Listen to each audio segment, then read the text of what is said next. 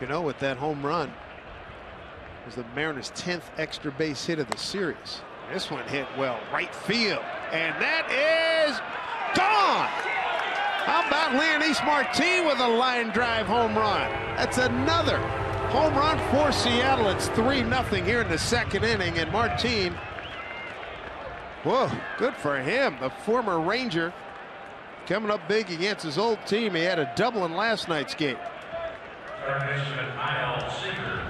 And this is a solid line drive that he hits. I wasn't sure it was going to be high enough, but it barely makes it over the wall. It's his first home run of the season.